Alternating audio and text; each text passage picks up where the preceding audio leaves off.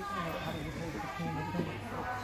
didn't know how much it was going to be, and I didn't know whether he was making my figure available for her. And this will cover it. So um, I'll go double check one more time.